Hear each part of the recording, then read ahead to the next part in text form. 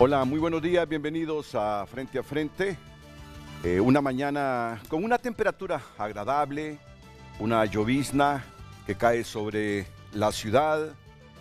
Eh, es cierto, si hubo afectados, se supone que son hasta el momento 38 mil hondureños los afectados por estos fenómenos climáticos que se han presentado durante toda la semana anterior y también el, el fin de semana. Si hay inundaciones, como siempre, en las partes bajas de la Lima y de El Progreso. Eh, le decía a Luz Madrid hace algunos minutos, cuando le dije, pues me parece que fue menor a lo que teníamos previsto las consecuencias de estas lluvias, pero me dice, pero la Lima sí se ha inundado, el progreso. Bueno, le digo, pero ¿cuándo no? Cuando crecen estos ríos en, el norte del país, producto de estos fenómenos, las partes bajas de la Lima no se inundan. Generalmente así es, o en el progreso. Generalmente así es, se inundan. Claro, no nos satisface que haya gente afectada, esperamos que estén siendo atendidos, eh, porque muchos de ellos pierden sus enseres.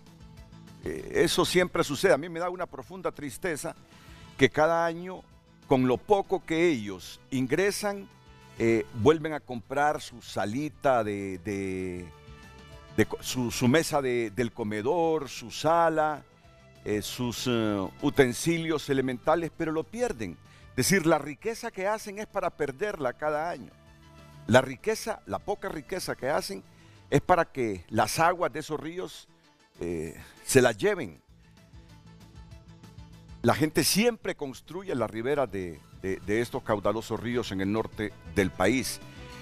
Así que en el transcurso del, día, las diferentes emisiones de Televicentro les, les informarán cómo evoluciona la situación de estas 38 mil, 40 mil personas que han sido afectadas. Nosotros nos vamos a concentrar en un tema que sobre todo el jueves y viernes, junto a la situación de la elección de los fiscales interinos, acaparó la atención en los medios y fue el llamado a consulta por parte del gobierno hondureño de su embajador en Israel. Este es el tuit que, que publicó el canciller de la República posterior a un comunicado de la Cancillería que fue eliminado, pero que fue público. Ante la grave situación humanitaria que sufre la población civil palestina en la franja de Gaza, el gobierno de la presidenta Xiomara Castro ha decidido llamar inmediatamente a consultas a Tegucigalpa al señor Roberto Martínez, embajador de la República de Honduras en Israel. Justamente de ahí se deriva el tema que tenemos esta mañana aquí en Frente a Frente. Ya les presentaré a mis invitados. Antes, Luz eh, Madrid con la pregunta para que usted este, luego en el transcurso del programa vaya preparando sus, sus comentarios o sus consultas. Luz, bienvenida, buenos días. Muy buenos días, licenciado Renato, a nuestros invitados, televidentes, compartimos con ustedes el tema del día. Recuerde que puede compartir sus comentarios y opiniones a través de nuestro WhatsApp 9773-6065 y a través de cada red social arroba frente a frente HN. El tema del día, el llamado a consultas del embajador hondureño en Israel. ¿Hacia dónde conduce la relación entre los dos países? Comparta su opinión. El tema del día fue presentado por Cementos Ultracem. Calidad garantizada.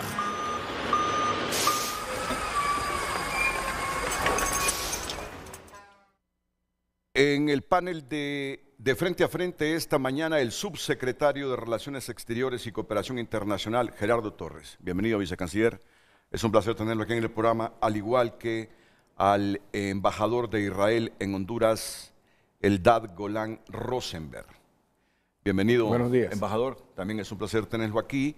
Y estará en cuestión de segundos, ya está lista ella, una analista en temas internacionales, consultora y docente universitaria, eh, Claudette Cubero, desde la ciudad de San Pedro Sula. Eh, Claudette, bienvenida, buenos días. Muy bien, muy bien, ya está. Muy bien, ya tenemos audio. Como pueden ver ustedes, la imagen también nítida desde San Pedro Sula. Bueno, comienzo con el vicecanciller eh, Gerardo Torres. ¿Ya está aquí el embajador eh, en, Israel o todavía, todavía no? Él, está convocado, el canciller Reina eh, se encuentra actualmente encabezando la delegación de Honduras en la Feria Internacional de Shanghái. Eh, vamos a ver si lo va a recibir el canciller Reina o él va a delegar eh, alguno de los vicecancilleres o si directamente el embajador va a ser convocado a casa presidencial. Se hizo el anuncio, no, no ha de tardar en comunicarse la reunión entre nuestro representante en Israel y eh, pues la Cancillería aquí en Tegucigalpa. ¿En qué consiste este proceso del llamado al consulta? Bueno, el llamado a consulta es traer al embajador de regreso a la capital, es sacarlo del país en donde nos está representando. Eh, esto es una acción diplomática, no significa la suspensión de relaciones, no significa el retiro de la embajada, pero sí es un mensaje, creo yo, claro, eh, que no solamente ha hecho Honduras, ya lo hizo también el presidente Boric de Chile, ya lo hizo México, ya lo hizo Colombia.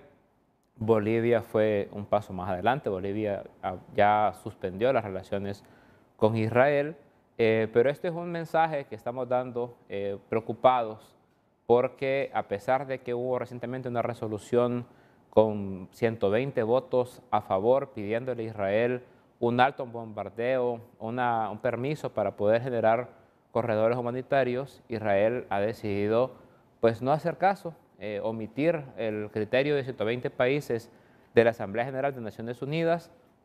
Hubieron abstenciones, hubieron votos en contra, pero la enorme mayoría de los países le pedimos a Israel un alto al fuego eh, y el permiso para que ciudadanos inocentes de Palestina puedan encontrar resguardos y no sean eh, atacados, bombardeados como están siendo hasta ahora.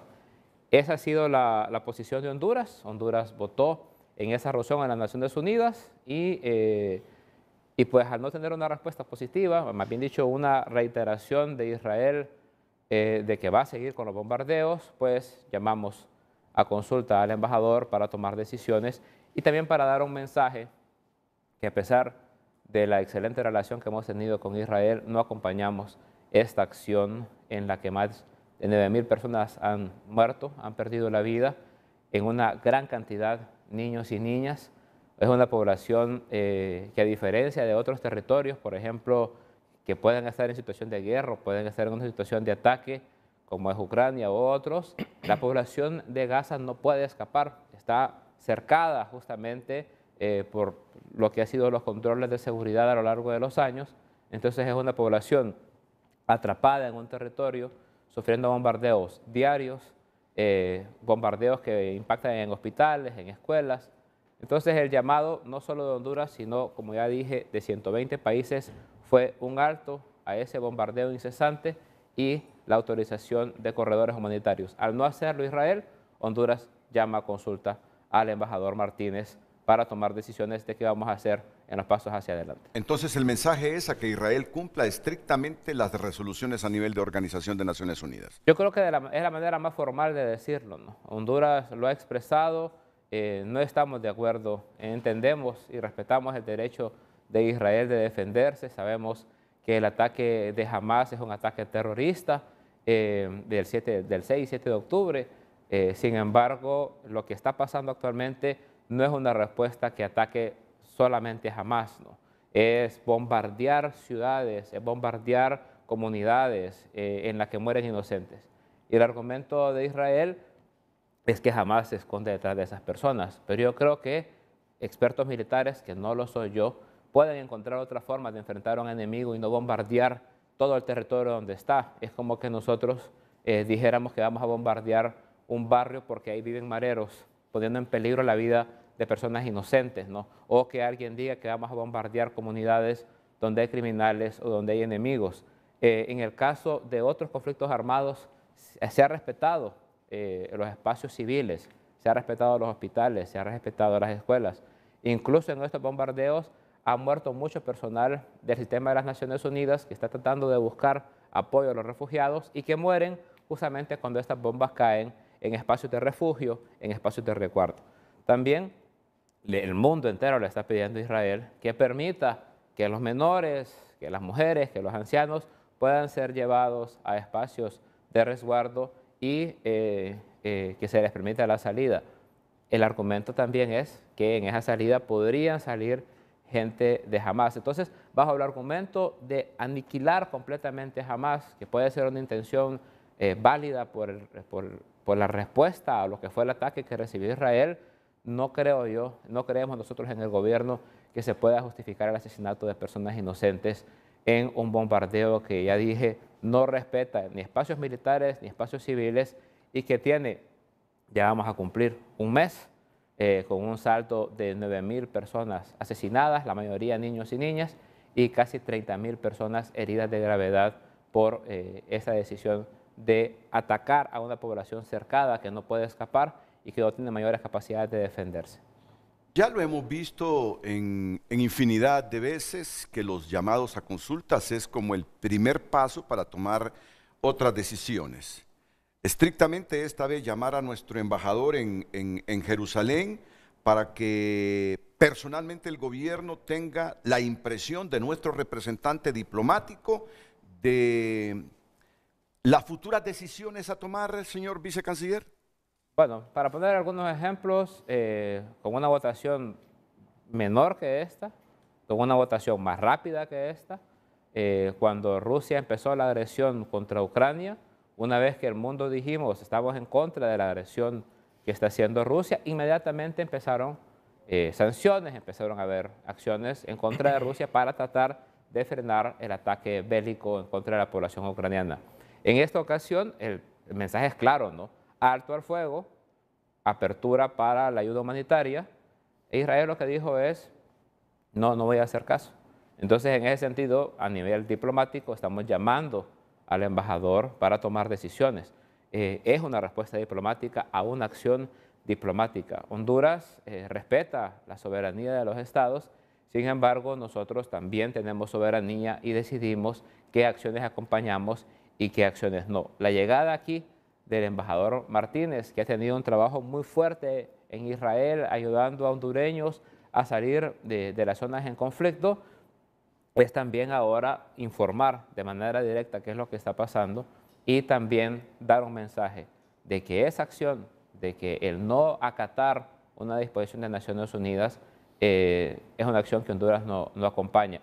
¿Qué es lo que vendrá después? Bueno, hay, hay que ver, yo no me puedo adelantar, hay muchas cosas. Nosotros eh, con el, em, embajador Eldad hemos hablado eh, del análisis de Honduras de eh, mover nuevamente la embajada de Jerusalén a Tel Aviv. Eso es una cosa que no se ha decidido, es algo que nosotros lo hemos mantenido en conversaciones. No se trata de eso, no se trata, porque hay gente que me ha preguntado y especula muchas cosas, se trata directamente de la preocupación de Honduras por la situación humanitaria del pueblo de Palestina, de los niños y las niñas de Palestina, que también tienen derecho, que también tienen derecho a tener una infancia bonita, feliz, eh, y que por las acciones que jamás eh, hizo en contra de Israel, que son repudiables y que son condenables, hoy están siendo asesinados de manera pues, en la que no pueden ni siquiera buscar auxilio, porque como ya dije, no pueden salir de un territorio. Es una acción que no está, a nuestro parecer, dentro del espíritu de lo que debe de ser la salvaguarda de la humanidad y el respeto al otro. ¿no? Eh, una cosa es el enfrentamiento entre fuerzas armadas, entre fuerzas militares que están en una guerra, que se confrontan, que buscan eh, la dominación del otro, la sublevación del otro. Y otra cosa es la población inocente y niños que de ninguna manera pueden ser justificados como víctimas de un conflicto eh, que a veces ni siquiera entienden, pero lo que sí entienden es ver a sus familias asesinados, a sus hermanos asesinados. Y en ese sentido Honduras eh, ha levantado su voz junto con la mayoría de los estados de las Naciones Unidas. Le hemos pedido a Israel eh, un alto al fuego, le hemos pedido a Israel una apertura de corredores humanitarios. Israel ha dicho de que no lo va a acatar. Entonces, Chile, México, Honduras, y otros países hemos decidido llamar a nuestros embajadores para hacer consultas en capital eh, y otros países, como Bolivia, ha tomado la decisión incluso de adelantarse a suspender las relaciones con Israel. ¿Cómo valora eh, esta posición del gobierno hondureño? Eh, el gobierno israelí a través del embajador de esa nación en Honduras, Eldad Golán Rosenberg. Señor embajador. Sí, muy buenos días. bueno, muchas imprecisiones eh, acaba de decir el vicecanciller Gerardo, lo cual yo lo respeto mucho, pero vamos a empezar a corregir las cosas incorrectas que él dijo. primer lugar, el embajador de México no ha sido llamado a consultas. ¿Ok? Quedamos claro. Segunda cosa, desde que empezamos nuestra operación ahí contra la organización terrorista Hamas, siempre, constantemente ha habido un corredor humanitario, ¿ok? un corredor humanitario permanente para abastecer o suministrar eh, la población palestina, con la cual a propósito nosotros no tenemos ningún conflicto. No estamos luchando en contra de la población eh, eh, de Gaza. Hemos suministrado y abastecido la, la, la, franja de Gaza con cualquier necesidad vital, ¿ok? Permanentemente.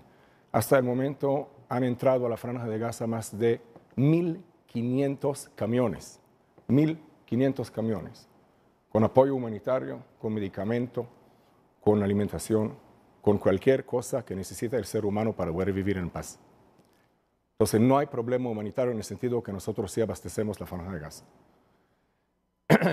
eh, nosotros luchamos contra un, y tenemos toda la evidencia y todas las pruebas y se la podemos mostrar.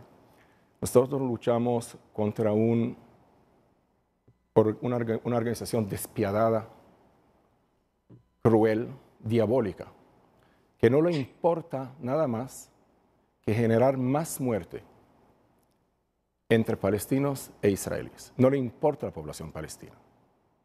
No le importa la población palestina. Ellos están utilizando, acaba de decir el vicecanciller, que Hamas es una organización eh, terrorista, lo cual obviamente comparto. Eh, dijo que eh, cometieron ese atentado en contra de Israel salvaje, el peor que haya sido eh, perpetrado en contra del pueblo de Israel. El 7 de octubre murieron la mayor cantidad de judíos que murieron desde el holocausto. Somos un pueblo víctima de genocidio verdadero. Eh, pero se le olvidó decir la cosa más importante, que jamás es una organización que usa un método imperdonable llamado escudos humanos. La mayoría de los palestinos, la mayoría absoluta de los civiles palestinos muertos en la franja de Gaza son víctimas de ese método.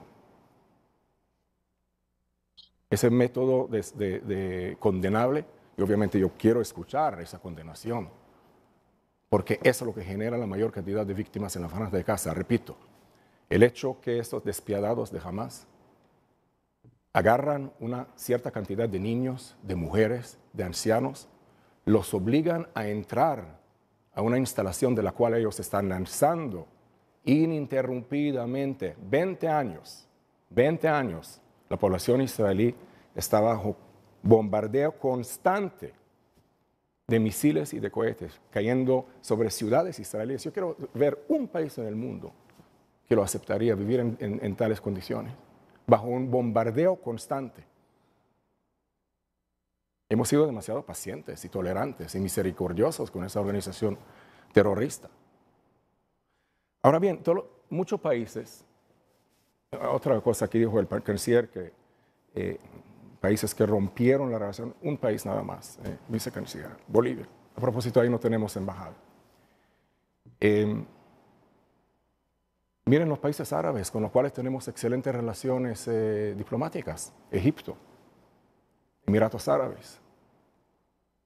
Ni siquiera a ellos se le ocurrió retirar el embajador de ellos, de Tel Aviv, a, de Israel a, a consultas, porque ellos saben muy bien, ellos son países, no aquí de Centroamérica, del Medio Oriente, ellos saben muy bien que Israel está luchando contra un componente destructivo, feroz y despiadado en el Medio Oriente que hay que aniquilar, la organización terrorista Hamas. Hasta Jordania, que el otro día, ayer, eh, llegó con un avión lleno de apoyo humanitario eh, para los palestinos y se lo dejó ahí en la franja de Gaza. Entonces, si los países de verdad son críticos con Israel, eso está bien. Pero si quieren ayudarles a los palestinos, no criticar a Israel, ayudarles si están tan preocupados por los palestinos, hay otras maneras mucho más eficientes para ayudar a la población palestina en la franja de Gaza. Yo no he recibido, por ejemplo, de parte de la Cancillería una oferta a, mandar equipos de rescate a la franja de Gaza, apoyo humanitario a la franja de Gaza. Y se lo quiero preguntar al vicecanciller. Si ustedes de verdad quieren ayudarles a los palestinos, hay manera de hacerlo. Yo no he recibido una llamada diciendo, embajador, queremos ayudar a los palestinos como hicieron los jordanos, como hicieron los egipcios, lo están haciendo todo el tiempo. Estamos en coordinación, plena coordinación con nuestros vecinos, amigos, los egipcios. Si de verdad Honduras quiere, el gobierno hondureño quiere ayudar a los palestinos, hay una manera eficiente de hacerlo. Ofrecer apoyo humanitario, ofrecer, eh, eh, eh, lo, que sea, alimentación, como nosotros estamos haciendo aquí, por ejemplo, en Honduras. Se puede también ofrecer la mediación. A ver, Honduras es un país que aboga por la paz, un país pacifista. Pudieron haber llamado al embajador de Israel en Honduras y decir, mira, queremos ponerle fin a esa guerra y ofrecemos nuestra mediación. Yo no he recibido llamada que diga Honduras está dispuesta, como Honduras es un país amigable. Tenemos muy buenas relaciones con Honduras, por supuesto. Somos pueblos hermanos. Israel es el primer país siempre de ofrecer equipo de rescate y apoyo humanitario a Honduras, siempre cuando este país tan amado Honduras ha sido golpeado por las catástrofes naturales. Inclusive en este momento, cuando, estamos, cuando hay mucha población hondureña que vive en inundaciones, estamos ayudando a rescatar gente.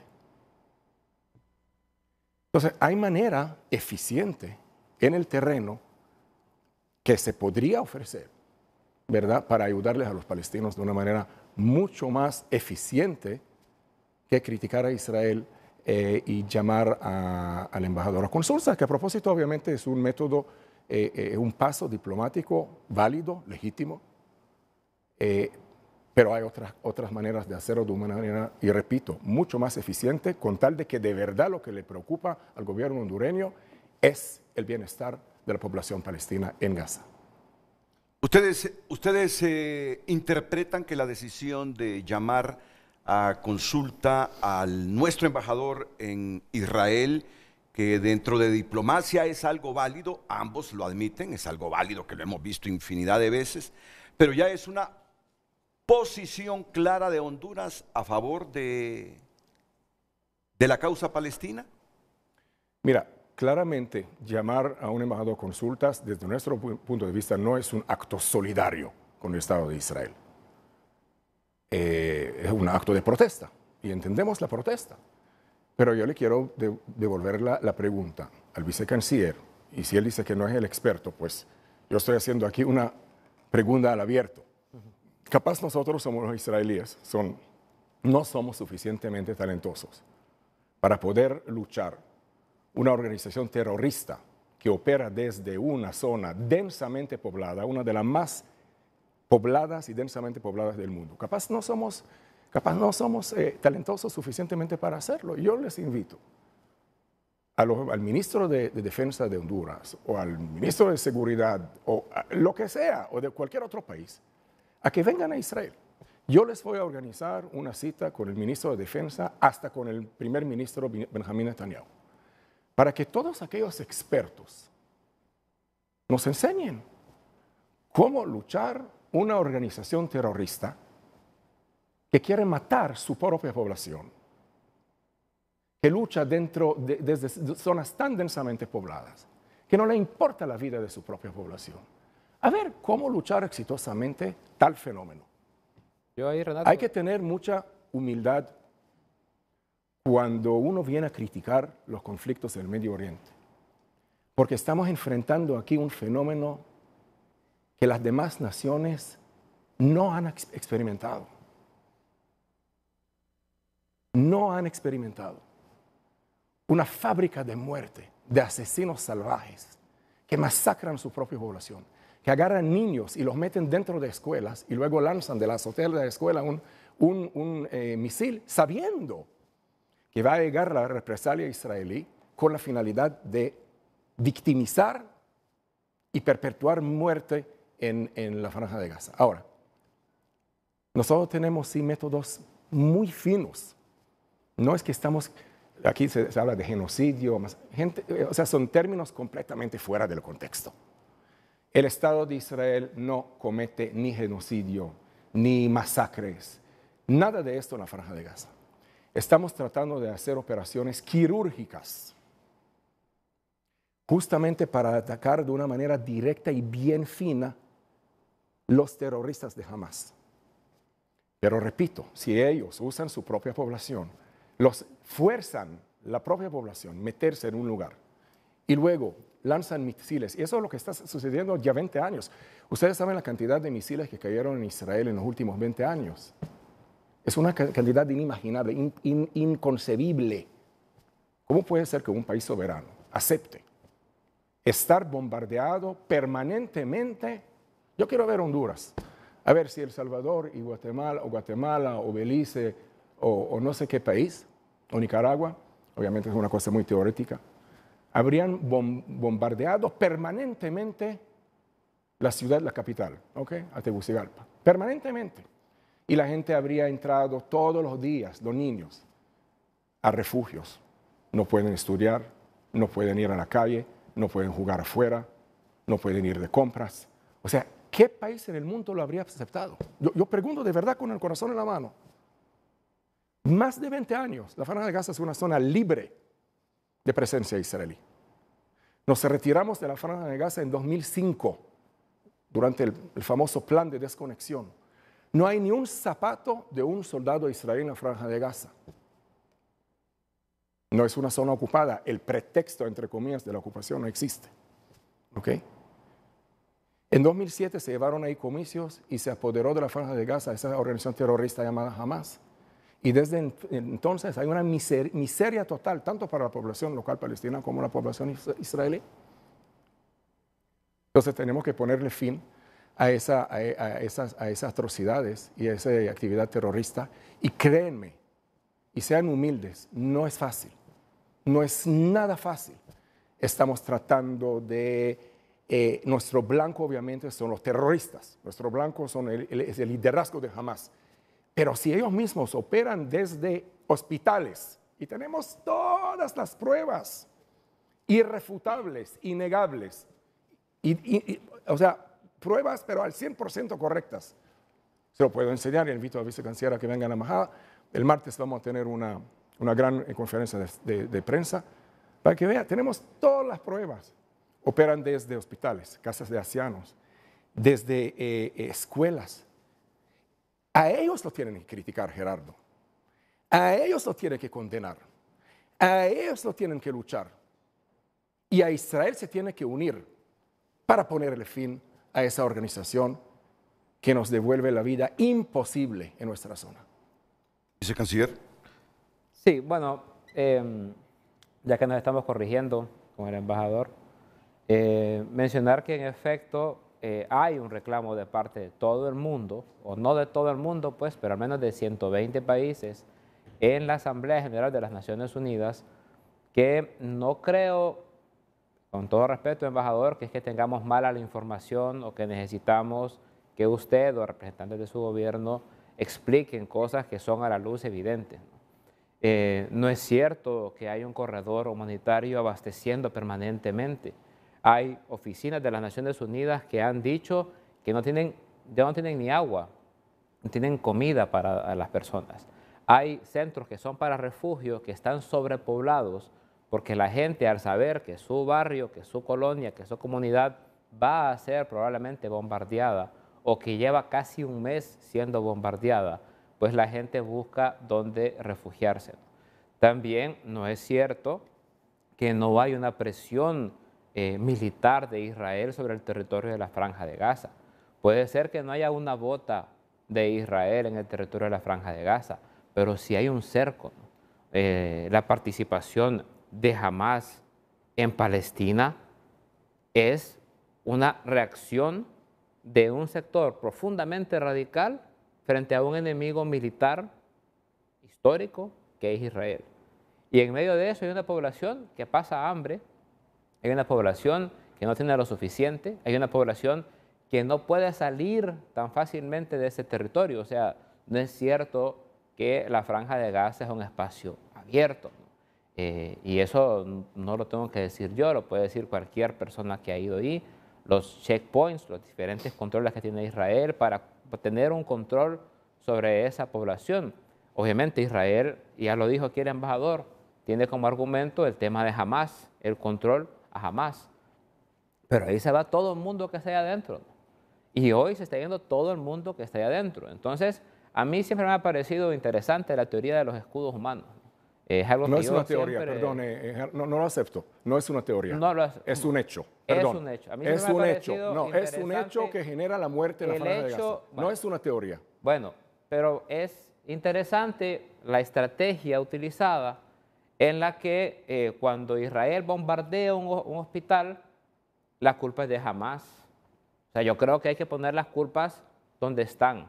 Y Hamas tiene responsabilidades. Y el mundo condenó el ataque de Hamas. Inmediatamente Honduras salió a solidarizarse con Israel, a decir, no estamos de acuerdo con lo que está sufriendo el pueblo de Israel, pero no nos vamos a quedar callados, no nos podemos quedar callados, lo dijo la presidenta en París, cuando mientras estamos reunidos hablando de política, hay un bombardeo permanente que está asesinando a niños y niñas. Entonces, cuando cualquier otro país que se enfrenta a cualquier otra organización terrorista, militar, todos los otros países, cuando atacan un lugar civil, cuando atacan una escuela, un preescolar, un hospital, el mundo entero dice, eso no está permitido en las reglas de la guerra, eso no está permitido en las reglas del combate.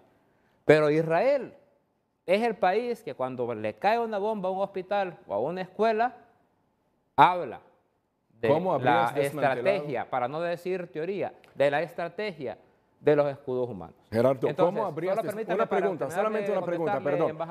¿Cómo habrías desmantelado un terrorista? Yo creo que eh, usted es una persona inteligente. ¿Cómo habrías desmantelado, con el corazón en la mano, háblame así, de frente a mis ojos. ¿Cómo usted habría desmantelado, ok, 10 terroristas que están lanzando cohetes y misiles hacia Israel desde una azotea de un hospital bajo el cual hay miles de pacientes?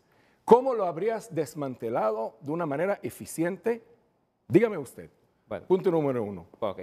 Para contestarle, eso es algo a lo que todos los países se someten. Eh, no lo sabe hacer, ¿verdad? No lo sabe hacer. Pero es que ningún país lo sabe hacer. Es, entonces no nos vengan a criticar. Es como, no nos vengan a poner, es como que, es como que al-Assad, es como que Bashar al-Assad cuando apareció ISIS, que fueron los terroristas, yihadistas, extremistas, eh, hubiera bombardeado completamente la comunidad donde estaba ISIS. O sea, fue un enfrentamiento con ISIS. No son las mismas condiciones, perdón, ISIS no operó desde una zona le estoy contestando, no, le estoy pero usted está haciendo una comparación incorrecta. No, le estoy contestando, le estoy contestando que yo respeto lo que usted me está diciendo de que es una situación muy complicada.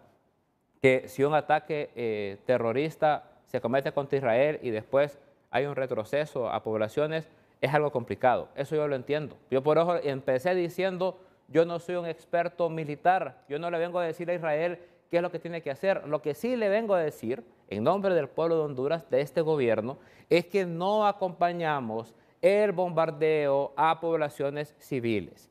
Es que nos duele, como estoy seguro que a Israel también le duele, ver el asesinato de niños y niñas. Y lo que el mundo le está pidiendo a Israel es un cese a los bombardeos y que permita, porque ahí también permítame, embajador, corregirle Human Rights Watch, Naciones Unidas, la Cruz Roja, la Media Luna Roja, en todas hay reportes de que hay problemas para suministrar ayuda humanitaria a Palestina. Así que no, me, no venga a decir, por favor, acá que hay corredores humanitarios y que todo el mundo está recibiendo, porque no es, cierto, porque hay reportes que dicen que no es cierto y esos reportes, esos reportes, esos reportes son los que llegaron al pleno de la Asamblea General de las Naciones Unidas y por eso, con todo el respeto y el cariño que tenemos con Israel, es que la votación fue 120 países, creo que fueron 47 abstenciones y 26, 27 países a favor,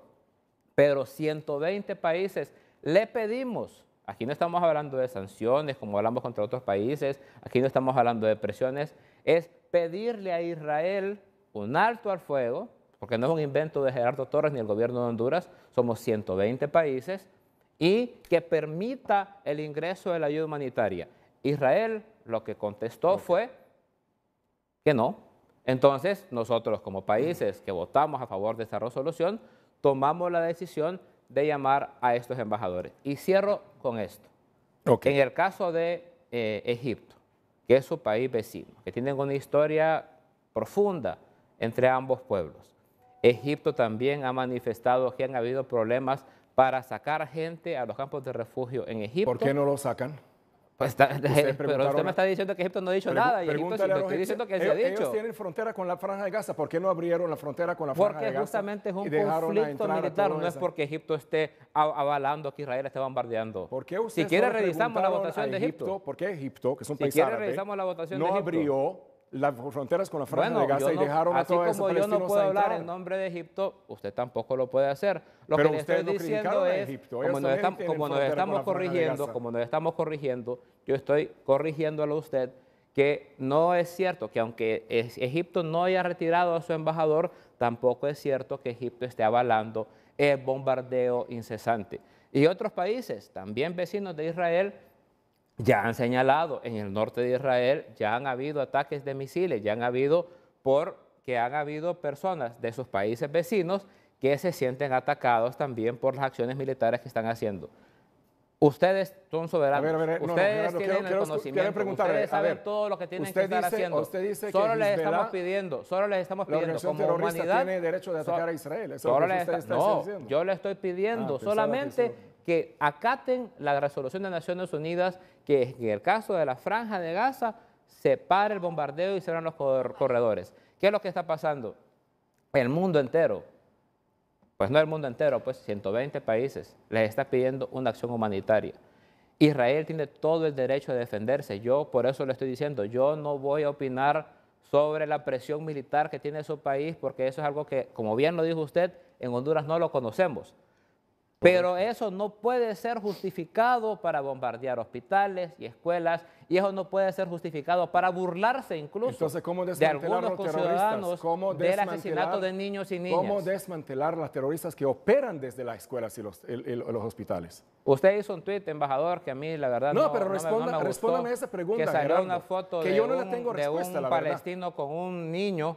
¿Cómo y se usted lo que le pone en Twitter es, lo- usted lo que le pone en? Twitter es, es nice doll, o sea, qué lindo muñeco, Eh, o qué eh, linda Gerardo, muñeca. ¿cómo se a mí lucha una ese tipo de comentarios, a mí ese tipo de tweets me parece que no ¿Cómo se abonan a mejorar la percepción que tenemos el mundo sobre lo que está haciendo Israel. Bueno, Claudette ok, Cubero, déjame, solo déjame permítame un segundo, embajador. No, con su, eh, Eh, para que se prepare Renata. Claudette Cubero, que la tenemos como analista en estos temas, Y yo quiero que nos va a ayudar desde San Pedro cosas. Sula. Por favor. Por favor.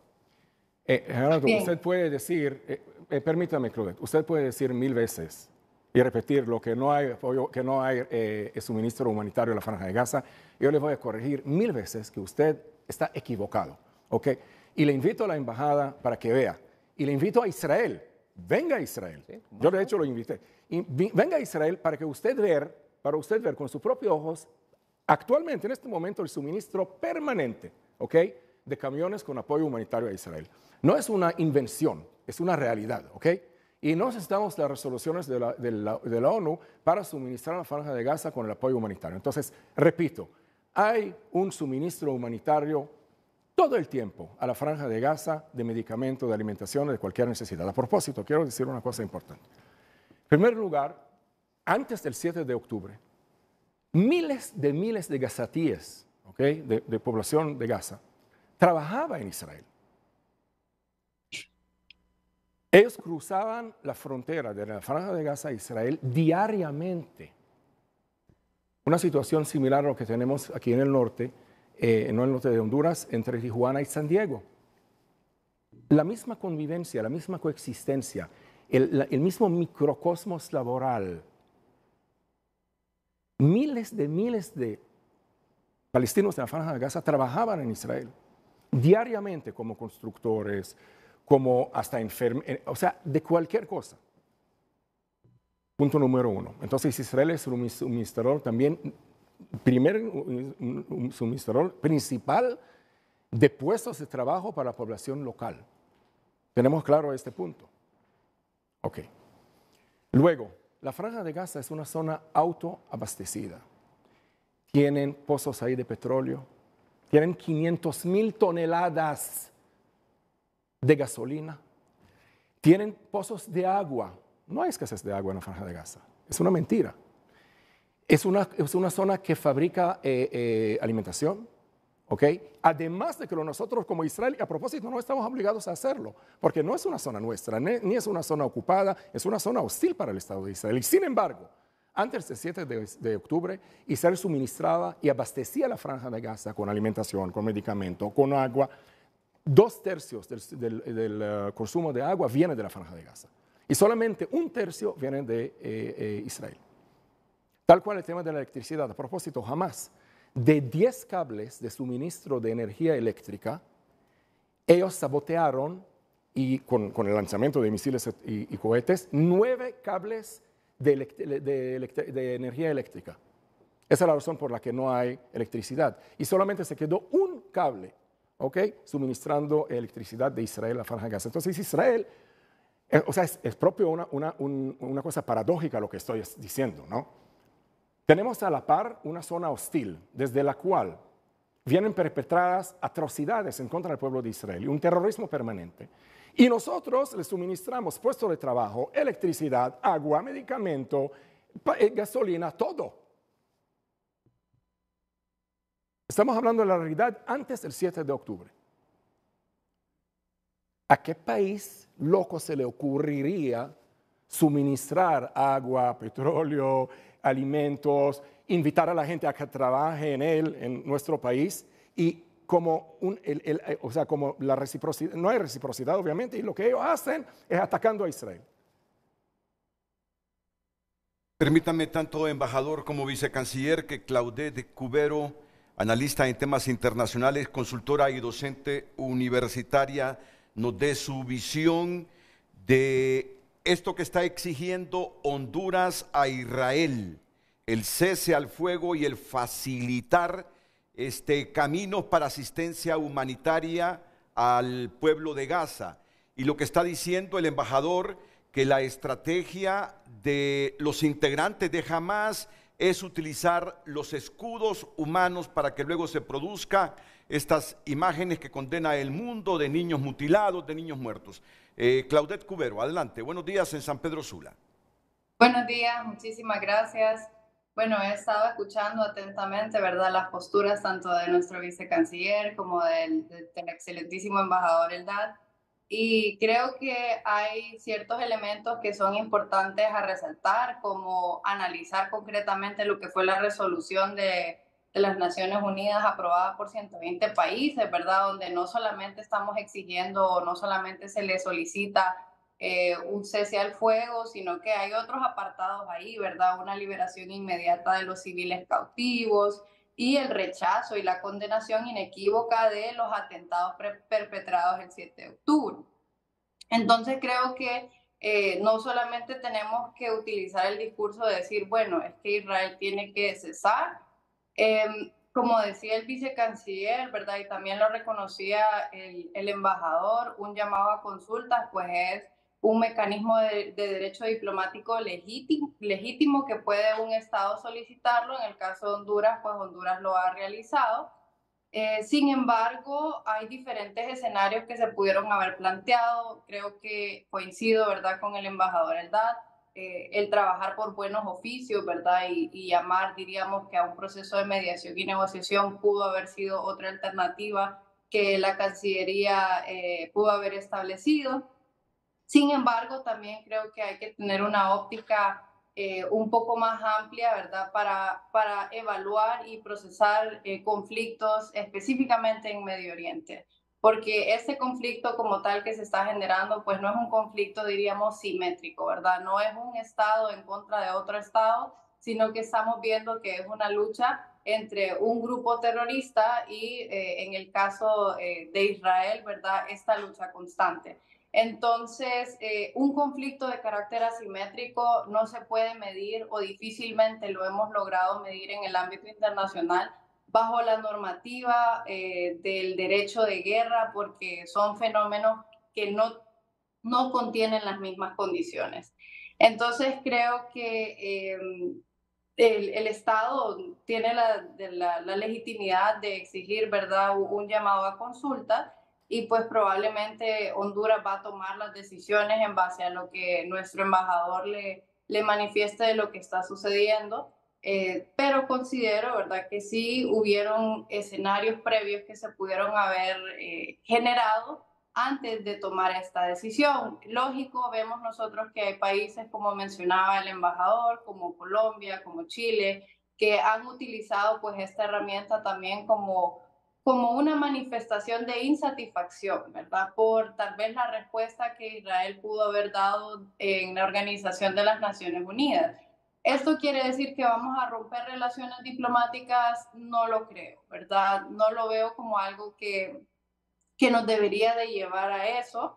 Eh, sin embargo, yo, yo sí considero, ¿verdad?, que eh, tanto la, la Cancillería de, de, nuestro país debería estar un poco más pronta y abierta a extender mayor eh, lazos de conversación o ampliar esos elementos de conversación entre, diríamos, el Estado de Israel para poder, diríamos, secundar un poquito más esas participaciones. Eh, creo yo que esto no va a tener un efecto, esperaría, ¿verdad?, eh, severo entre la relación de Israel y Honduras, pero sí definitivamente abre, diríamos que una conversación un poco incómoda entre lo que puede estar sucediendo, ¿verdad?, en Medio Oriente y en específico entre Israel, eh, el grupo terrorista Hamas y, y pues el pueblo palestino y lo que los estados o nuestros países pueden estar observando. Hay que tener claro también que eh, desde una posición de países centroamericanos en muchas ocasiones es muy difícil evaluar, eh, evaluar desde una óptica, como mencionaba el vicecanciller, militar o estratégica lo que está sucediendo, porque hay que reconocer que históricamente somos países que en realidad no hemos vivido guerras severas, en realidad no hemos vivido bombardeos constantes, por ende, eh, nuestra reacción ante ello puede, diríamos que generarse desde un formato emocional. Em, esa sería, ¿verdad?, mi, primera impresión y, creo que eh, tanto eh, el canciller, ¿verdad?, creo que deben de llenarse de más insumos a la hora de tomar decisiones finales sobre, sobre lo que está sucediendo y esto se lo va a permitir eh, el embajador ahorita que va a estar aquí y pues van a poder discutir con él y platicar con él. Bueno, Claudette Cubero, que es analista en temas internacionales, consultora y docente universitaria, es del criterio que antes del llamado a consulta del embajador hondureño en Israel, Honduras debió dar algunos pasos previos. Ha habido dos momentos, no digo que, claves, porque cada quien dentro de sus puntos eh, de vista eh, defiende el pensamiento, él como el subsecretario de Relaciones Exteriores del Estado de Honduras y él como el embajador de Israel en Honduras. Pero hasta el momento es el único que ha mencionado el término genocidio, el embajador eh, Eldad Golán Rosenberg que fue el término que en un primer comunicado que luego anuló, emitió la Cancillería, que lo que se estaba produciendo ahí en Gaza era genocidio. Luego la Cancillería borró ese comunicado, salió el mensaje en ex del canciller Eduardo Enrique Reina, quedándose nomás como el, como el llamado a consulta al embajador nuestro en Israel. Pero aquí el embajador se ha acordado del término genocidio y ha dicho, ahí no hay genocidio. Lo dice porque Israel quedó con ese término que Honduras cree que hay genocidio, aunque luego Honduras se retractó, porque tampoco he vuelto a escuchar ese término genocidio de parte del gobierno de Honduras, pero quedó grabado ese término en Israel, primero, eso lo van a responder después de la pausa. Segundo, el canciller, el vicecanciller Gerardo Torres, esto fue lo que yo entendí de su participación, ha manifestado que jamás surge como reacción a un enemigo militar histórico.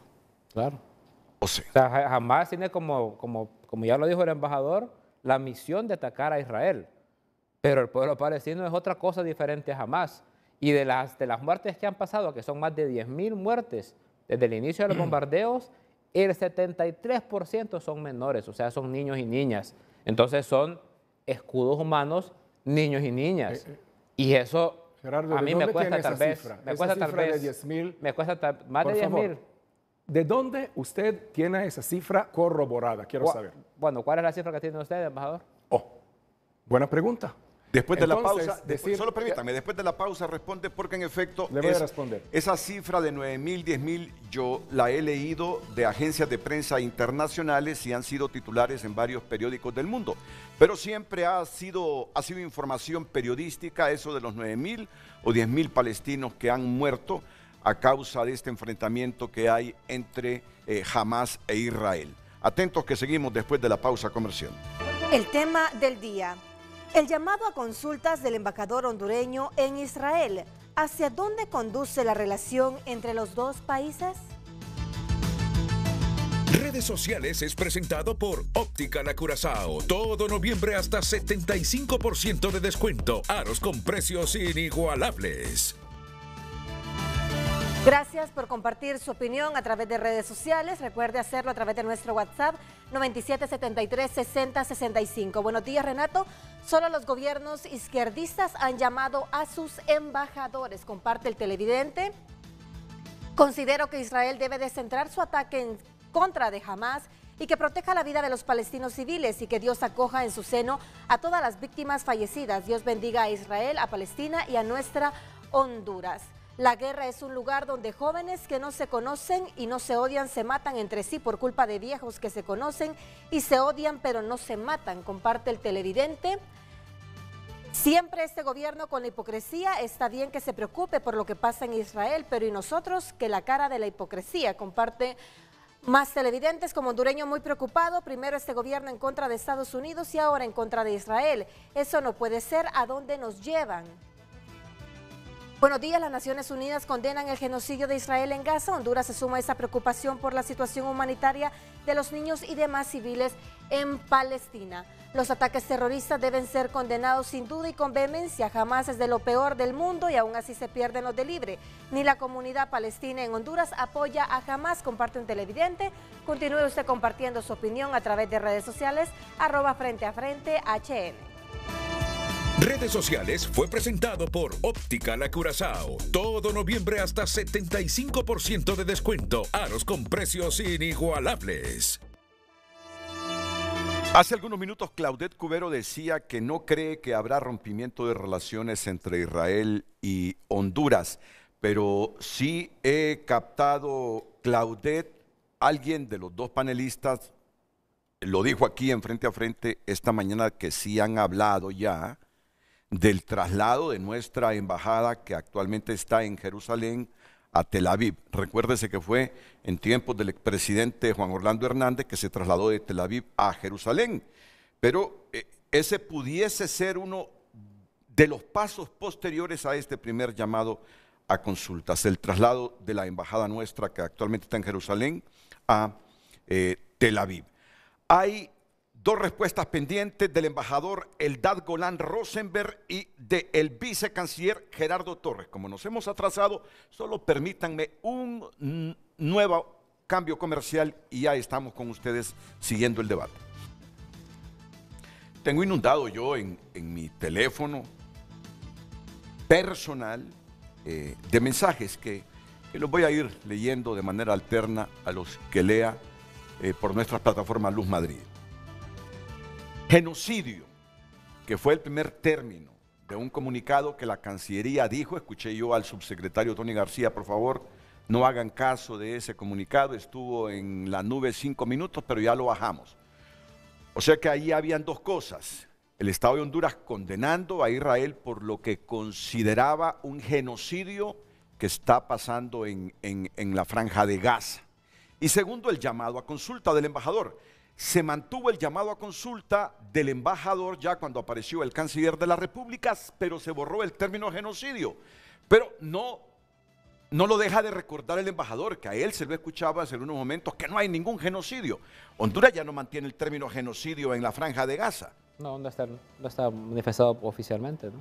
Es decir, eh, estuvo por cinco minutos, pero luego desapareció. Eh, pero ustedes, aunque el comunicado oficial haya desaparecido, ¿recuerdan ese término genocidio? ¿Cómo lo definió el Estado de Honduras? Bueno, yo le voy a dar el crédito a la Cancillería. eh, por haber eliminado ese, ese, comunicado, que seguramente eh, llegaron a la conclusión que era un comunicado incorrecto, eh, que usaba un lenguaje inadecuado y por lo tanto lo borraron. Entonces, para nosotros es, es, una comunicación borrado. Pero, pero lo importante es, eh, Renato, que Israel no está solo. Israel no está solo.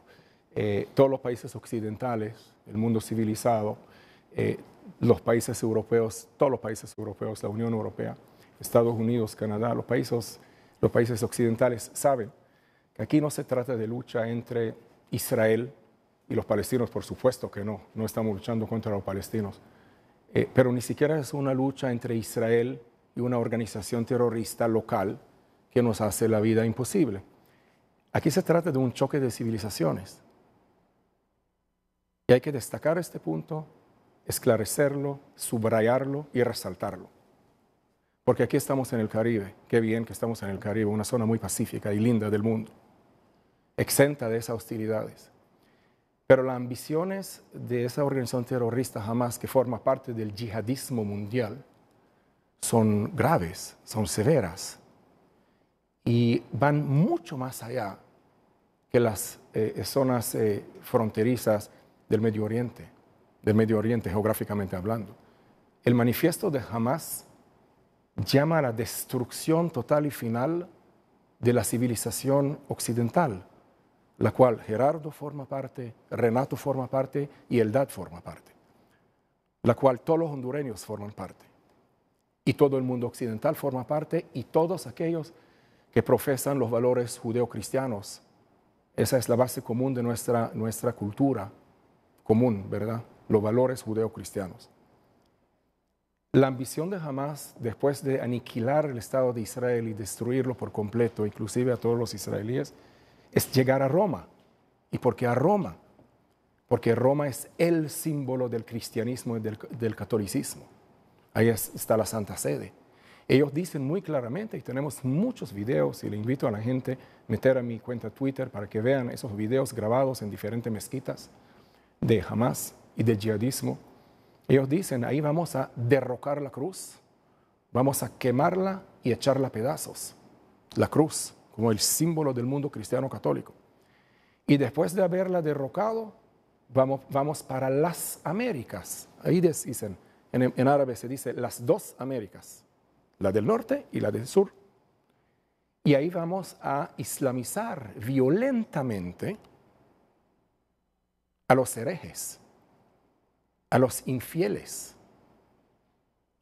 O sea, el blanco principal de esa organización terrorista es el mundo civilizado, es el mundo cristiano católico, lo cual me parece muy interesante y muy inentendible. ¿Cómo puede ser que hay algunos países, o sea, no digo que eh, eh, eh, los países respaldan jamás, pero tienen que entender que al intervenir en, ese conflicto tan delicado, tan complejo, que tiene raíces históricas muy complejas. Hay que entender toda la historia del Medio Oriente para de verdad poder tener una posición firme. A propósito, ¿a favor o en contra? ¿A favor de, a favor de Israel o contra Israel? Hay que saber, entender aquí que aquí en la, en la puesta, en la, en la jugada, está toda la civilización occidental. Es un punto bien importante que hay que decirlo. Pero gracias a Dios Israel no está solo. Israel no está, solo porque todos los países europeos ha habido una caravana de cancilleres que llegaron a Israel de Inglaterra, de Italia, de Alemania, de Francia. Presidentes, de todos los presidentes europeos llegaron a Israel para respaldar a Israel y apoyarlo en esa lucha contra esa organización terrorista. Asimismo quiero decir, yo sé que es, otra vez, es casi inconcebible, imperceptible de que una organización terrorista use su propia población como escudos humanos, pero es una realidad. Esa es la razón principal por la cantidad de muertos civiles en la franja de Gaza. Y tenemos todo corroborado, todo en pruebas, en videos. Inclusive hemos interceptado conversaciones entre ciudadanos palestinos y agentes israelíes que, o, aún entre sí, diciendo no puedo salir ahorita de esta escuela no puedo salir de la escuela porque ahí están los Hamas y no nos dejan salir. Y esa persona dice que está con 500, 500 niños. Acaban de, agarrar ambulancias, los líderes de Hamas. Hay algunos países que dicen que hemos bombardeado ambulancias. Ellos estaban tratando de escapar de la franja de Gaza. Aquellos líderes que todavía se encuentran en la franja de Gaza, por la mayoría de los líderes de Hamas están en Qatar, viviendo vida de lujo, de lujo impresionante viajan en camionetas de oro, viven en palacios increíbles, viven ahí, lejos de la franja de Gaza. Mira la corrupción, la deshonestidad, honestidad, la manipulación, el engaño y la mentira de esa organización terrorista. Capturaron algunas ambulancias y trataron de escapar de la franja de Gaza utilizando ambulancias. Esto es un crimen de guerra que hay que condenar. Ese es un crimen de guerra. Ellos están utilizando las instalaciones de la ONU. Estamos hablando de las agencias de la ONU.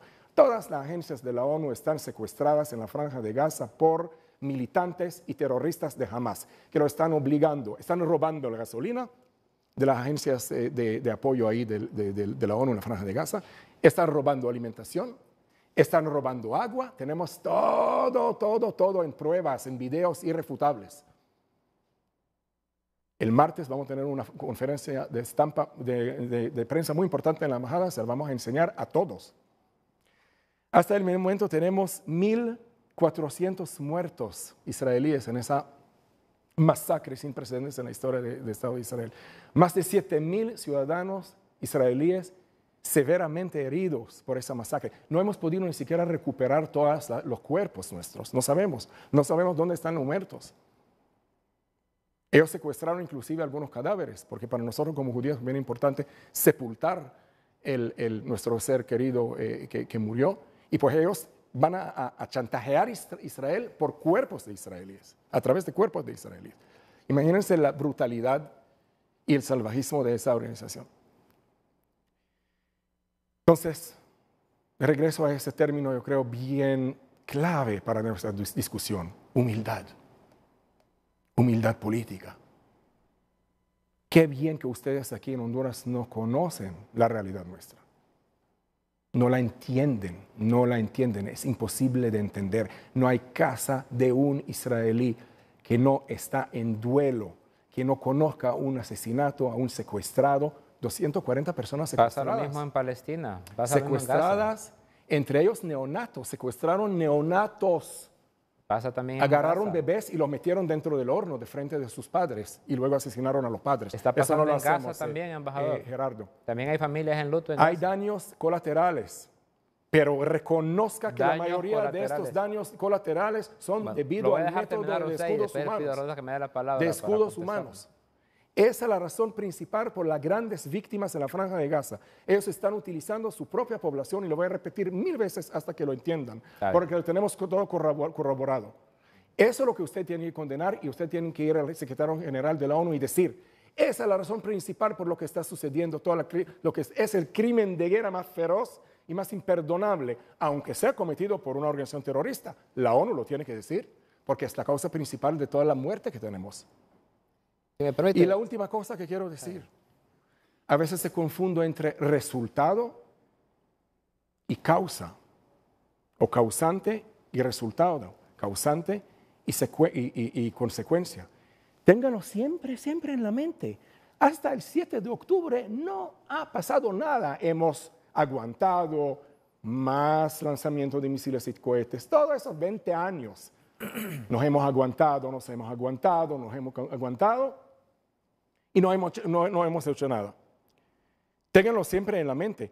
Es el 7 de octubre, esa masacre contra población civil inocente israelí, lo que resultó en lo que estamos viviendo en este momento en el Medio Oriente. Y por lo tanto hay que decirlo en voz alta y recordarlo. En el momento que Israel ceda las armas, deja las armas, deje las armas. Va a haber un segundo holocausto. Ha, habido un mini holocausto ahí en, en, esa zona fronteriza con la franja de Gaza. Y en el momento que los palestinos dejen de combatir en contra de Israel, habrá paz en el es que no son los palestinos. no palestinos, jamás. Usted lo está confundiendo. Terrorismo palestino, vamos a definirlo así. El momento en que se termine la hostilidad proveniente del terrorismo palestino en nuestra zona, no solamente habrá paz en Medio Oriente, se construirá un Estado palestino. Por lo tanto, aquellos que quieren ayudar a los palestinos de verdad, pueden hacerlo a través de apoyo humanitario, pueden hacerlo a través de ofrecer mediación. Lo repito, estamos dispuestos a escuchar, por favor. Y a través de la negociación, pero con estos diabólicos de Hamas no se puede negociar. Y eso debe ser, debe quedarse bien claro. Sí, yo solo para contestar varias de las cosas que dijo el embajador Eldad, él dice que son daños colaterales, dice. Según el reporte de la Cruz Roja Internacional, porque me preguntó de dónde había sacado el dato yo, del 7 de octubre a la fecha eh, hay más de 29.600 29, personas han sido heridas de diferentes maneras, sobre todo de gravedad, en el territorio palestino, con un número de muertes arriba de las 10.000 personas asesinadas. El Ministerio de Salud de Palestina reportaba hace tres días 9.770 Cruz Roja Internacional. ¿Quién, perdón, ¿quién lo reportó, eh, Gerardo? Ministerio de... British Red Cross es la página, es el informe de Red el Ministerio de Salud. El informe del el, Ministerio de Salud de Palestina reporta menos que la Cruz Roja. El Ministerio de Salud de Palestina sí, reporta menos, reporta, reporta menos que la Cruz Roja. Pero, Ellos bueno, usted, usted ya pudo hablar, déjeme hablar a mí. Eh, Una discusión de Si me permite hablar, por favor. Sí, por favor. Los palestinos reportan 9.770. La Cruz Roja reporta más de 10.000. Están hablando de 1.4 millones de personas que han tenido que salir de sus casas huyendo por los bombardeos. Y aquí está la respuesta a lo que usted decía en el primer bloque.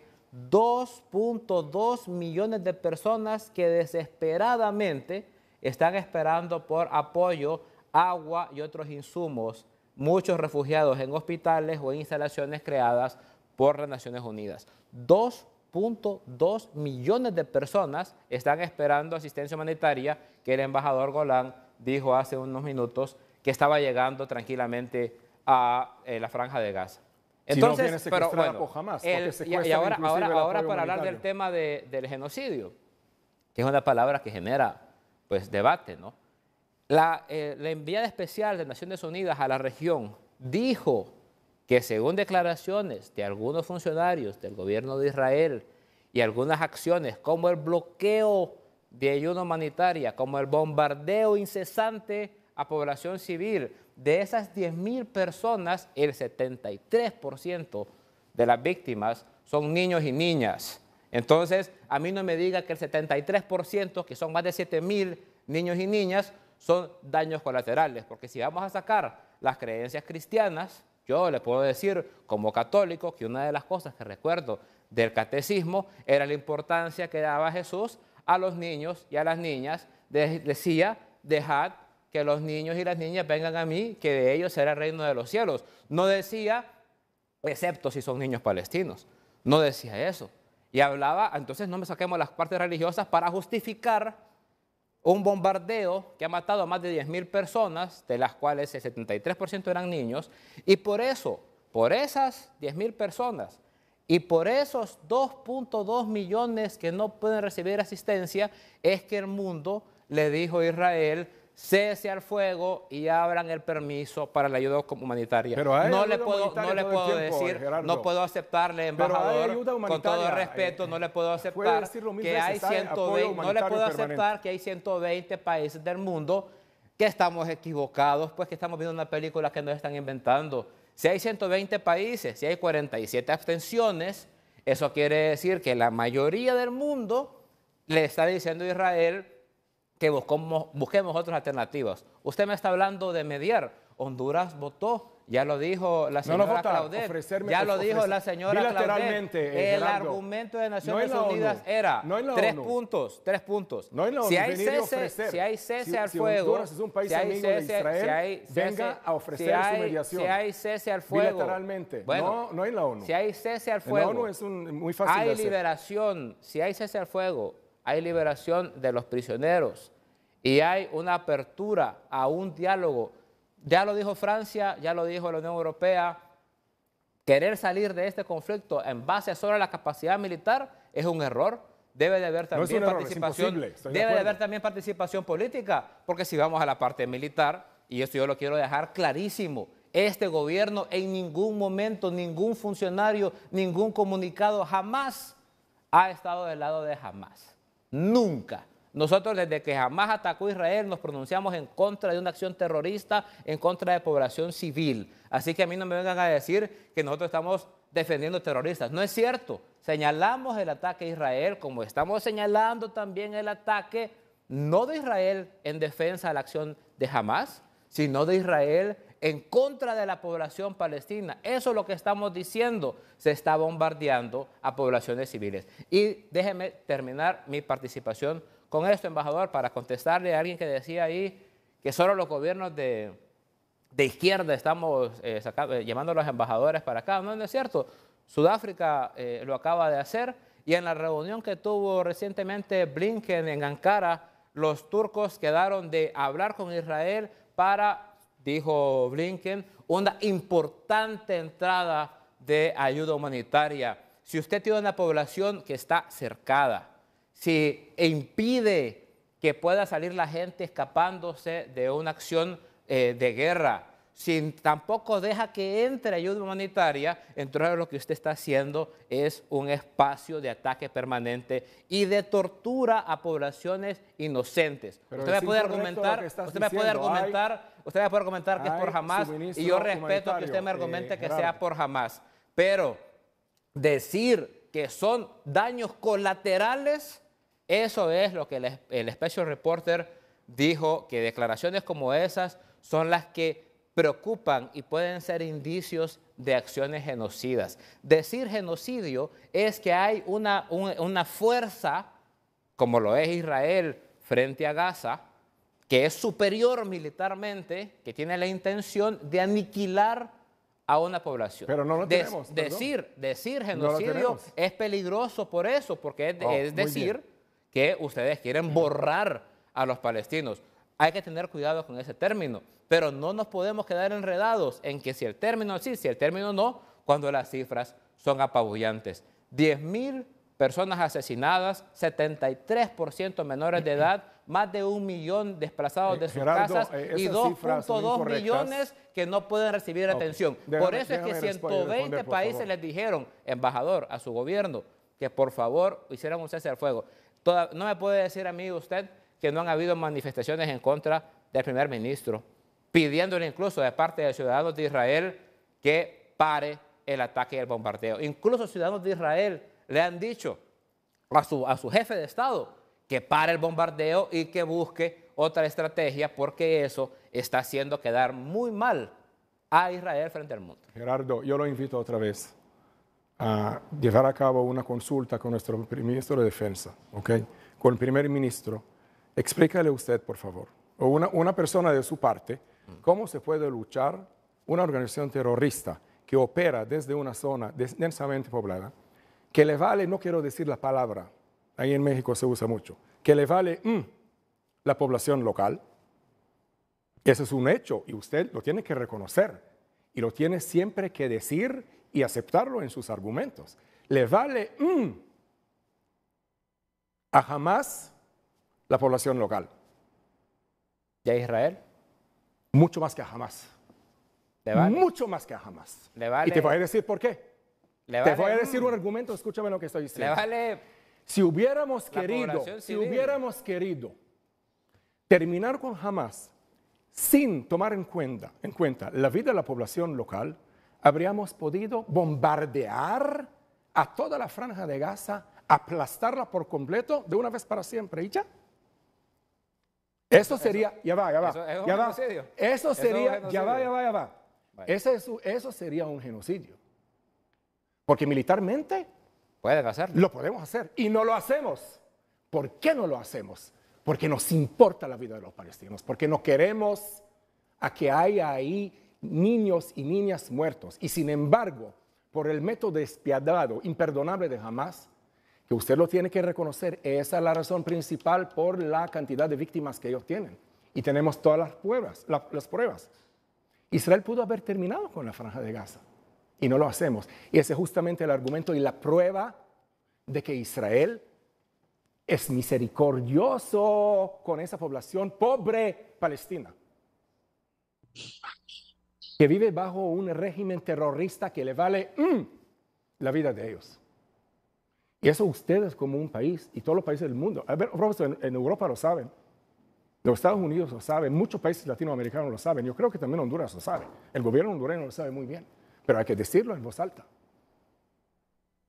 que es debido a los métodos de Hamas. Nosotros lo que le estamos pidiendo. Estamos luchando aquí un. Nosotros lo que le estamos pidiendo que no tiene ni idea a su Israel, crueldad.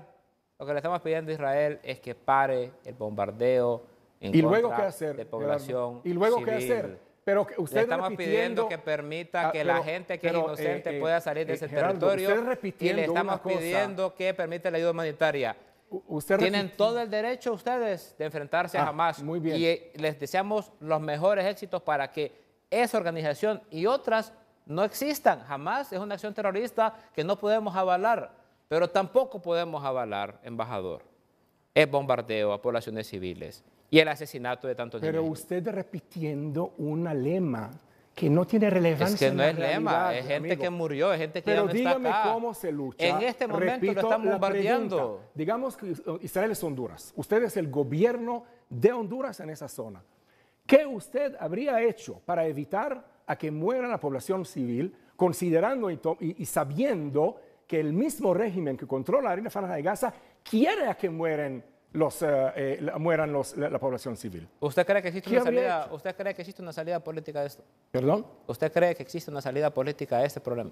Yo creo que sí. ¿Qué eh, sería el reconocimiento de a ver, Palestina? la política debe ser ¿O cuál es la, la seguida. salida política? Le voy a decir, en primer lugar, que menos para el bienestar de este planeta, para el bienestar de nuestra cultura occidental, tenemos que acabar con esta organización terrorista. Sí o sí. Sí, está bien. Eso estamos de acuerdo. ¿Cuál es la salida política al Una vez, conflicto? una vez, una vez se termine ahí eh, el régimen de Hamas, va a haber, podemos hacer, no sé, yo no sé, obviamente no voy a, a negociar con usted aquí, eh, diferente de todo lo- el público, porque la verdad que no tengo respuesta, honestamente. Pero podemos hablar de instancias mul- multilaterales para, eh, a propósito, en 1991 eh, se congregó en Madrid la famosa conferencia de Madrid, que era la raíz de los acuerdos de paz que nosotros tenemos hoy en el Medio Oriente, ¿verdad? Eso fu- fue, la base de los famosos acuerdos de Oslo. Una vez terminen los, los terroristas palestinos, los terroristas palestinos, diferentes grupos terroristas, con la hostilidad y las atrocidades y el terrorismo en contra de la población civil israelí, vamos a sentarnos y dialogar. Totalmente de acuerdo. Y se lo puedo garantizar a, a propósito.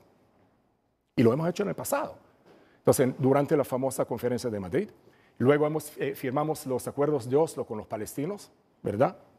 No vamos a entrar ahorita en los detalles porque fracasaron, pero inclusive hasta hoy en día tenemos algunos componentes de esos famosos acuerdos de paz con los palestinos que siguen en vigor.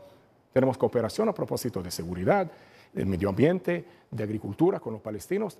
Hay mecanismos para solucionar este problema, pero los palestinos en primer lugar deben dejar las armas.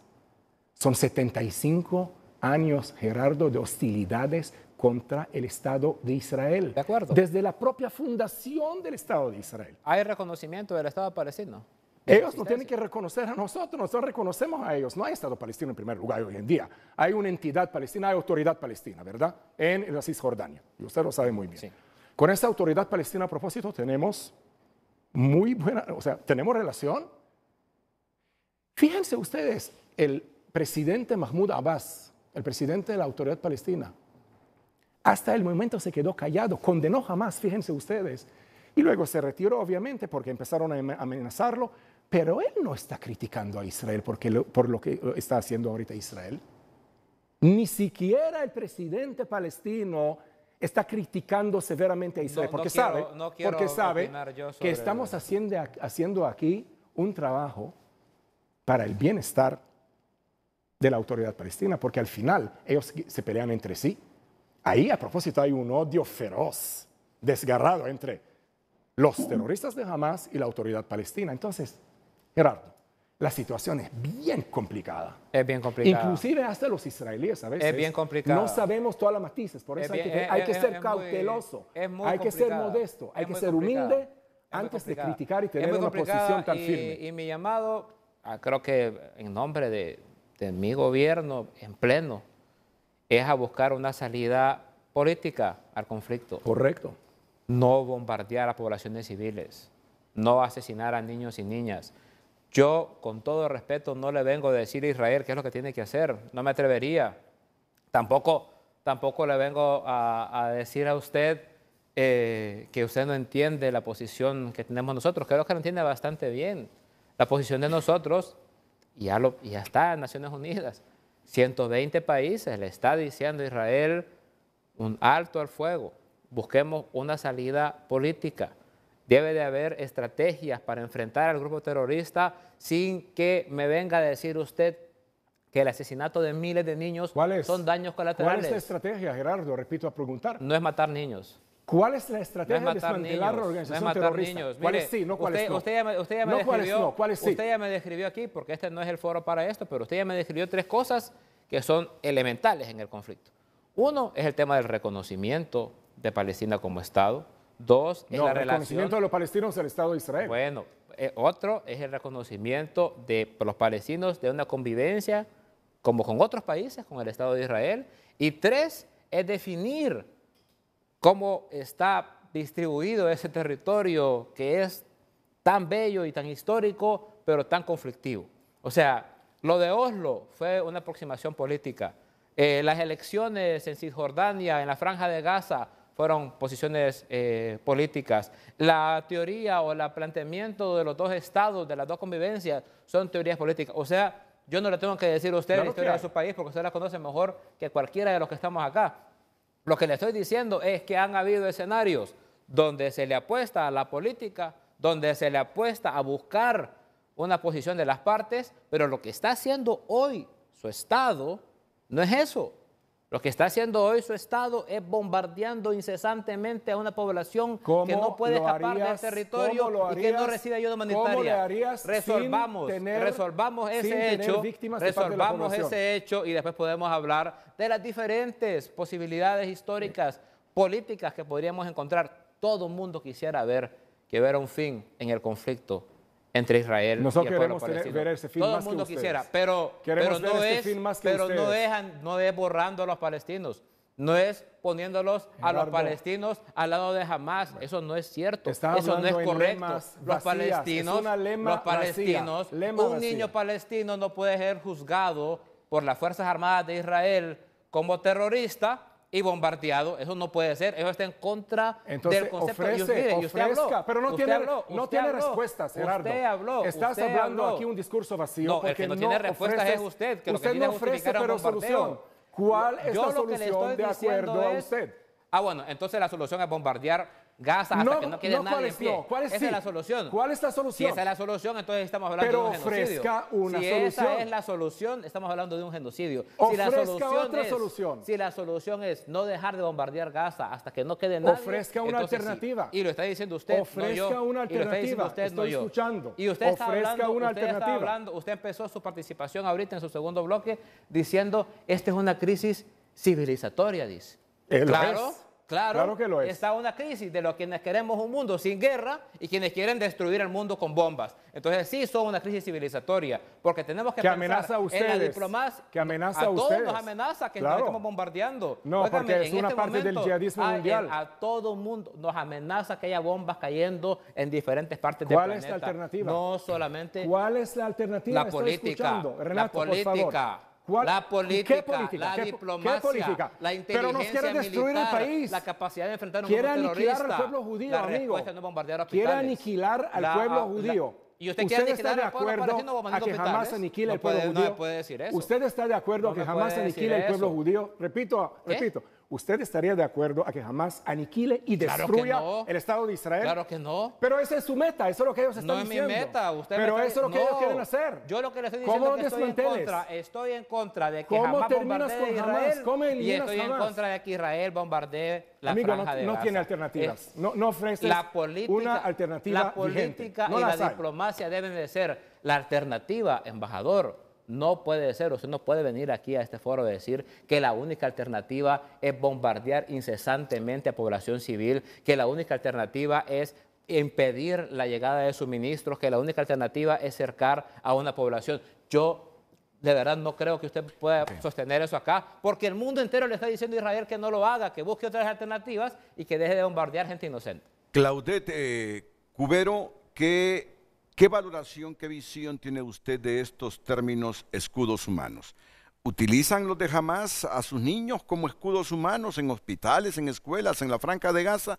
¿Cuál es su criterio después de la pausa comercial? Damos lectura a más de sus comentarios a través de redes sociales. César Hernández comparte ese afán de protagonismo geopolítico del gobierno de la presidenta es improductivo. Yo creo que primero hay que dar una mirada al interior del país. Tan solo si los vicecancilleres viajaran menos y estuvieran más en el país, se darían cuenta que nuestros problemas les requieren. Milton Roussel comparte, los ciudadanos de Honduras apoyamos a Israel a su derecho de existir, a defenderse y a luchar contra los terrori- terroristas de Hamas. Le pedimos al señor embajador que recuerde cómo los hondureños enarbolamos la bandera de la estrella de David en barrios y colonias de todo el país, comparte el televidente Wilson Dubón.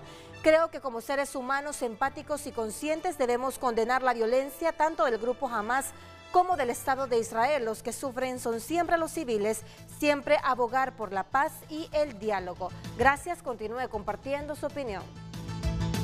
Redes sociales fue presentado por Óptica La Curazao. Todo noviembre hasta 75% de descuento. Aros con precios inigualables. Miren, yo, yo este periódico eh, lo sigo todos los días. Lo sigo todos los días. Yo mismo tengo cuidado de todo lo que leo, porque yo sé que en conflictos como este siempre hay tendencias, tendencias de prensa, eh, de los eh, grandes medios de comunicación, que son los que distribuyen la información. Vamos a ver, un rápido resumen. Este es un rápido resumen que les quiero hacer. Los bombardeos de Israel, y les voy a dar el, nombre del periódico, es el país de España. Los bombardeos de Israel matan a más de 10.000 personas en la franja tras casi un mes de conflicto, según el Ministerio de Salud eh, Gazatí, que es el, la información que nos estaba dando el vicecanciller de la República hace algunos minutos.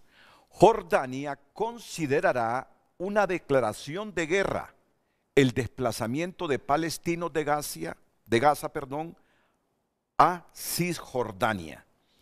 Jordania considerará una declaración de guerra el desplazamiento de palestinos de Gaza. Es decir, si, si hay desplazamiento de, de, de gazatíes hacia Cisjordania, donde gobierna la autoridad palestina.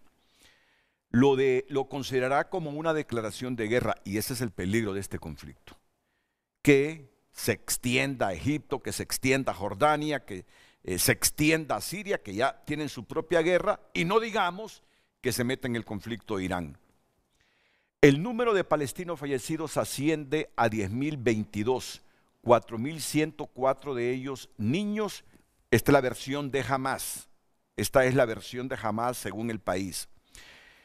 Eh, otra de las actualizaciones, el paso fronterizo de Rafah permanece abierto para egipcios y extranjeros en la lista. Von der Leyen, Gaza no puede ser un refugio seguro para terroristas. ¿Quién es Von der Leyen? Es una importante política de la Unión Europea. La presidenta de la Comisión Europea es el ejecutivo de la Unión Europea. La presidenta de la Unión Europea, Ursula von der Leyen, ha abogado por desalojar al grupo islamista Hamas del control de Gaza y por desarrollar una economía viable en la franja para evitar que crezca la radicalización con la perspectiva a largo plazo de una solución de dos estados, uno israelí y otro palestino. Gaza no puede ser un paraíso seguro para terroristas, ha dicho von der Leyen en la conferencia anual en Bruselas de los embajadores comunitarios. La presidenta del Ejecutivo Comunitario ha reiterado que Israel tiene derecho a defenderse, pero dentro del derecho internacional, y ha lamentado que el número de muertos y el sufrimiento de los civiles en Gaza es trágico, por lo que ha anunciado que Bruselas destinará 25 millones de euros adicionales en ayuda humanitaria a la franja, lo que supone un total de 100 millones. Aunque evitó criticar la respuesta militar de Israel, que debe contar con total solidaridad de la Unión Europea tras el peor asesinato en masa de judíos desde el Holocausto, la conservadora alemana ha pedido a Tel Aviv que esfuerce o que se esfuerce para evitar las bajas civiles en su ofensiva contra Hamas. Y este es el, este es el puntito, este es el puntito. Está claro que a todos nos duele ver esas imágenes de niños, de adultos mayores muriendo en Gaza. Y el otro punto, y es lo que le pregunto a Claudette Cubero, en efecto, jamás utiliza a esta gente como escudos humanos. Claudette, ¿qué piensa usted? Bueno, muchas gracias Renato. En efecto, eh, el uso de escudos humanos es una práctica muy común dentro de los grupos terroristas y jamás, pues no diríamos que es la excepción, ¿verdad? En el ejercicio y en su forma de operar hacen uso y este tema de escudos humanos creo yo que ha sido muy debatido también por los medios eh, tanto mainstream, convencionales y no convencionales, ¿verdad? Sobre el debate sin embargo, hay que reconocer que sí es una práctica muy común utilizada por los grupos terroristas y en específico, ¿verdad?, por, eh, por Hamas. También para acotar algunos elementos de lo que estuvieron debatiendo tanto el vicecanciller como el embajador, creo que em, este debate, ¿verdad?, se ha generado queriendo hacer una mezcla entre el aspecto de la crisis humanitaria y también el aspecto del conflicto armado y ambas deben de separarse si vamos a tener una conversación de debate sobre ello. Porque, eh, como decíamos, ¿verdad? No podemos hacer o tener una opinión política sobre esa crisis a través de un conflicto bélico. Una, porque lo sucedido el 7 de octubre eh, para el pueblo de Israel fue, y de acuerdo a los análisis que realizaron, ¿verdad? Fue el equivalente a lo que el 11 de septiembre sucedió en Estados Unidos, exponenciado a un 10, 10 veces, ¿no? Entonces, eh, diríamos nosotros, eh, ¿es un Estado que está en, en, un nivel máximo de alerta? Sí. Entonces, las reacciones del Estado de Israel, diríamos nosotros que van concatenadas a lo vivido en, esas, en, ese, en, en esos eventos del 7 de octubre, ¿no?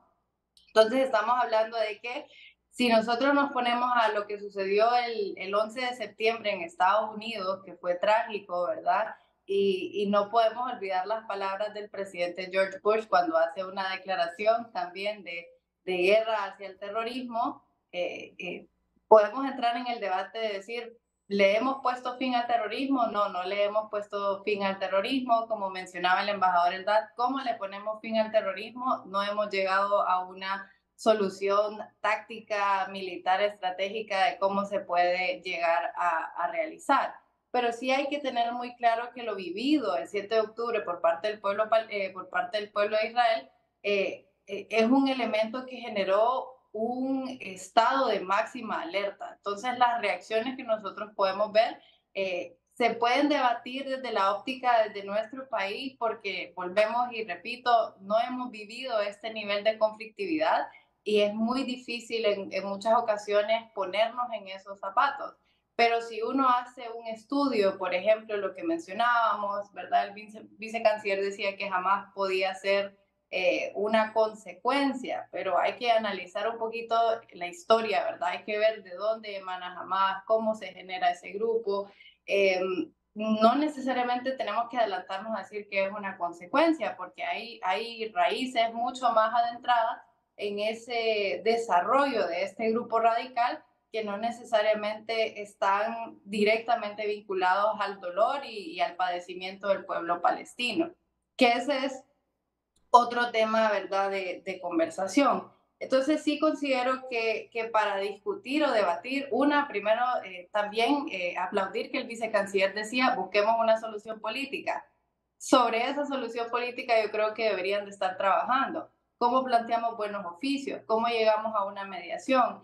Eh, yo tenía, ¿verdad?, aquí dentro de mis apuntes que definitivamente los acuerdos de Oslo han sido, ¿verdad?, una representación de la posibilidad de lo que se puede llegar a alcanzar. Entonces, hay que irnos a esos acuerdos, hay que ver qué funcionó, qué no funcionó y hay que plantear proactivamente si lo que nosotros queremos es que menos civiles estén eh, muriendo dentro de la franja de Gaza dentro de ese corto que usted mencionaba, ¿verdad? Que Jordania podría llamar a la, o podría considerarlo, ¿verdad? Un acto de ir a la guerra si, si, si, lo, si las personas de Gaza se desplazan hacia Cisjordania. Bueno, hay que analizar por qué, ¿verdad? Si Cisjordania relativamente ha mantenido una estabilidad, eh, ¿por qué Jordania consideraría, ¿verdad? Que esa movilización eh, generaría un acto de, de invasión que, que, podría llevarlos a ellos a emitir guerra. Entonces, em, a mi criterio, eh, volvemos al, punto del llamado a consultas, considero yo que es algo que estamos dentro de la potestad de ejecutarlo, lo podemos hacer. Eh, sin embargo, yo creería que es importante ir generando alternativas eh, que se puedan ir discutiendo y dialogando de forma bilateral entre Israel y, y nuestra, nuestra Cancillería para que pueda ir enrutándose un, un camino, diríamos que diplomático, de diálogo y de paz eh, entre lo que está sucediendo en Israel, ¿verdad? El pueblo palestino y pues la erradicación de Hamas. Bueno, permíteme a la audiencia ir a una pausa y escuchar los comentarios finales tanto del vicecanciller hondureño Gerardo Torres como del embajador de Israel en Honduras, Eldad Golán Rosenberg, y también un breve comentario de Claudette Cubero. Gracias, continuamos compartiendo su opinión. Isaac Dubón comparte por qué el gobierno actual exige una salida política a Israel en el conflicto contra Hamas si ellos son incapaces de elegir un fiscal con la oposición de Honduras. Diplomacia, candil de la calle y oscuridad de la casa, comparte el televidente. Gracias, continúe compartiendo su opinión.